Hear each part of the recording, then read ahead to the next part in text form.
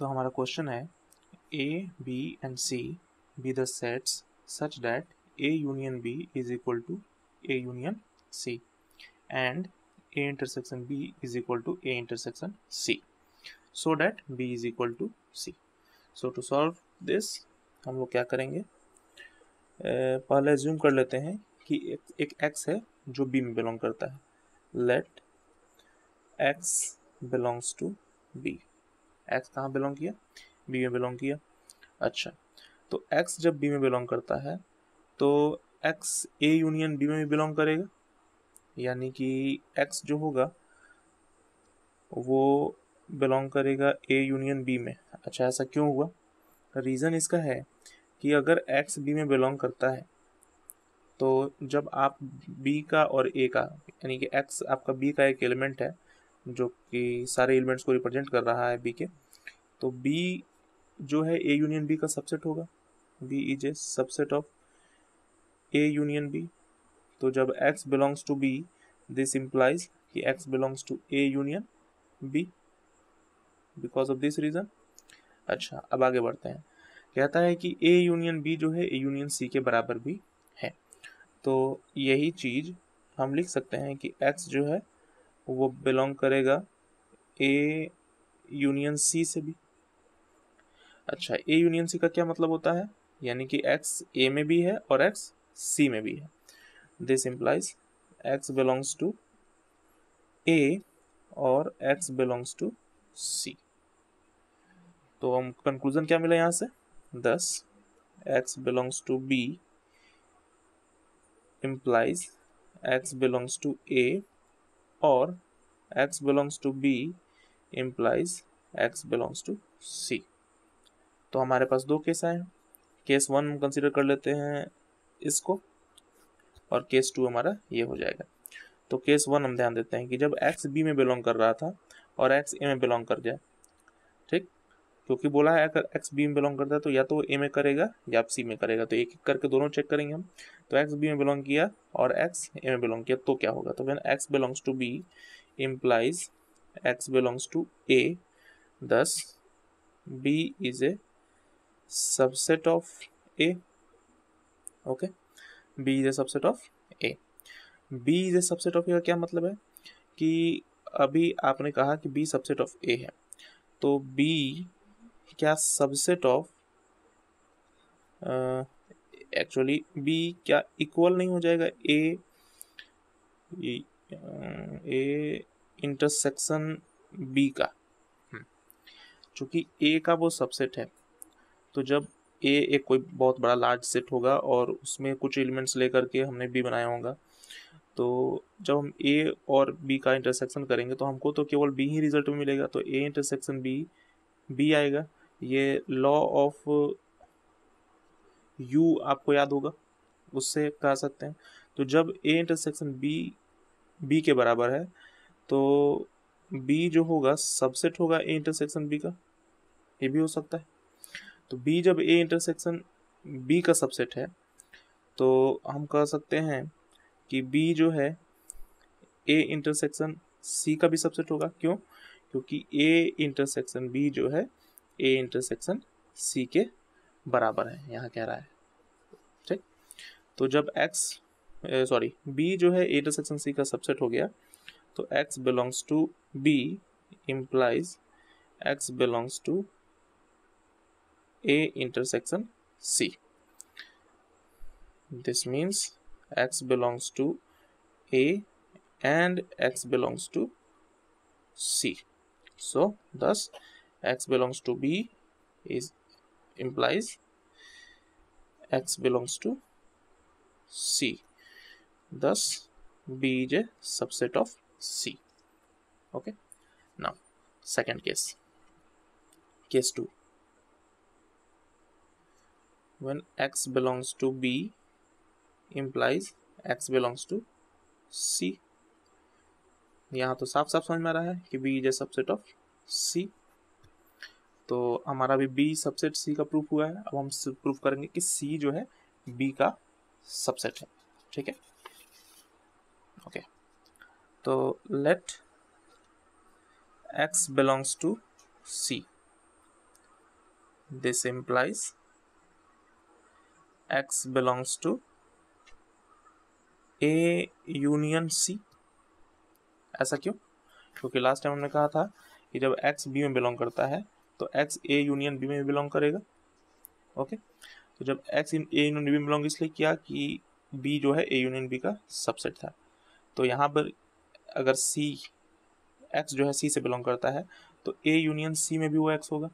Okay again X belongs to A union B we can say again X belongs to A और x belongs to b फिर हमारे पास दो case आएँगे।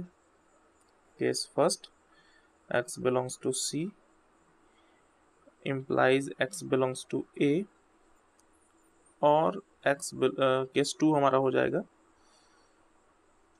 x belongs to c, implies x belongs to b okay? यहाँ से तो हमको कंक्लूजन मिलेगा कि x belongs to C implies x belongs to b का मतलब हुआ कि c जो है, b का सबसेट है। लेकिन अब इस केस को हमको सॉल्व करना पड़ेगा।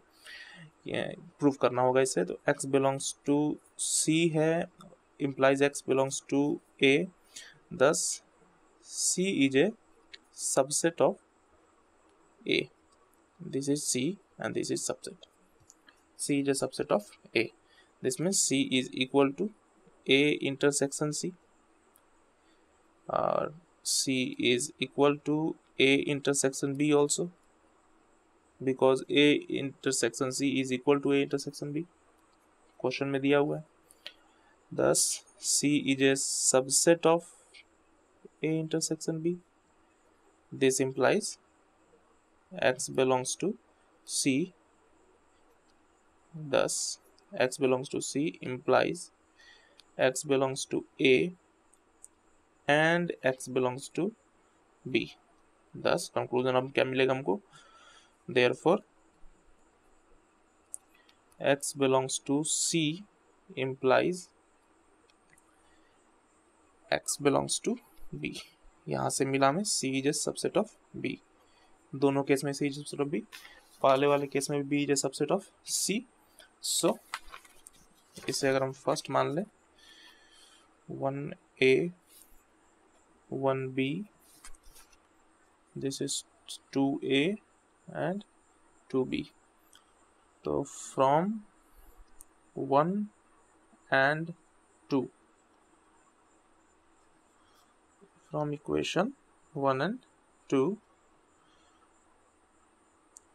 as b is a subset of c and c is a subset of b thus b is equal to c. Hence proved.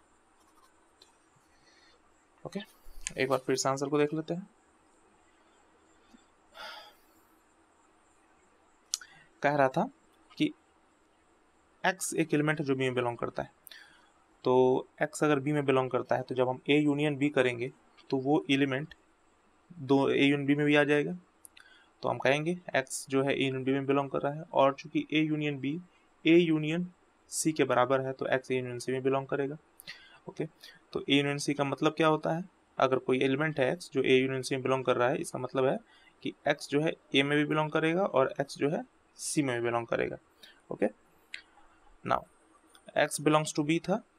This इससे कंक्लूजन क्या निकलेगा कि x belongs to b implies x belongs to c, इसके लिए और एक बार c के साथ। X belongs to b implies x belongs to c दो केसेस तैयार हो गए। पहला case x belongs to b is equal to x belongs to a तो यहाँ पर b is subset of a और जब बी सबसेट है ए का तो जब ए और बी का हम इंटरसेक्शन करेंगे तो बी के बराबर होगा। और जब दो सेट बराबर होते हैं तो वो एक दूसरे के सबसेट भी होते हैं। तो हमें सिर्फ़ एक सबसेट लेना है। हम B J subset of A intersection B बताएँगे। वो ज़रूरी नहीं है दिखाना भी कि ए इंटरसेक्शन बी भी बी का सबसेट होगा। तो हम लेते हैं बी जो है ए इंटरसेक्शन बी का सबसेट है। और ए इंटरसेक्शन बी बराबर है ए इंटरसेक्शन सी के तो बी सबसेट हो जाएगा इंटरसेक्शन सी का भी। Okay now x belongs to x is sorry b is a subset of a intersection c means x belongs to b implies x belongs to a intersection c okay now x belongs to a intersection c का मतलब हुआ x belongs to a and x belongs to c दस साफ़ साफ़ दिख रहा है कि एक्स बी में बिलोंग कर रहा है तो ए में और सी में दोनों में बिलोंग करेगा तो हमें सी से मतलब है तो x belongs to B is equal to x belongs to C this means B is a subset of subset of C case second तो साफ़ क्लियर है कि एक्स अगर बी में बिलोंग करता है और इम्प्लाइज कर जाए सी में बिलोंग करने का तो बी और C subset second case again हम एज्यूम कर रहे थे कि एक्स सी में बिलोंग करता है तो एक्स सी में बिलोंग करेगा। इसका मतलब है कि एक्स जो है ए यूनियन सी में भी बिलोंग करेगा और ए यूनियन सी में बिलोंग करेगा मतलब है ए यूनियन बी में बिलोंग करेगा। ए यूनियन बी में बिलोंग करने का मतलब कि एक्स ए का हो सकता है या एक्स बी का हो सकता है। अगेन दो case x belongs to C implies x belongs to a and x belongs to c implies x belongs to b so x belongs to c implies x belongs to a means c is a subset of a again c is also equal to a intersection c and a intersection c is equal to a intersection b so c is equal to a intersection b now c is equal to sorry C also subset of now चूँकि ये equal हो गया तो subset तो हो गई तो सी subset हो जाएगा ए इंटरसेक्शन बी का।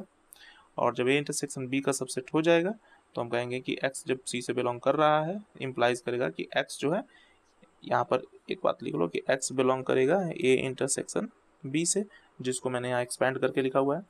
X belongs to A and x belongs to B so conclusion होगा x belongs to C implies x belongs to B चूँकि दोनों में है तो x belongs to C implies x belong to A भी true है। साथ ही साथ x belongs to C implies x belongs to B भी ट्रू है। तो हमें जिसका ज़रूरत है उसका लेंगे। यहाँ और नहीं है एंड है तो हम, हमें कोई डाउट नहीं है, वो उससे बिलोंग करेगा ही करेगा। तो so C is a subset of B और सेकंड केस तो साफ़ साफ़ प्रूव कर रहा है कि एक्स अगर सी से बिलोंग करता है तो एक्स बी से बिलोंग करेगा means C is a subset of B तो हमें बस यही दिखाना था कि बी जब सी का सबसेट हो और सी जब बी का सबसेट हो तो बी और सी क्या होंगे? बराबर होंगे। Okay that's it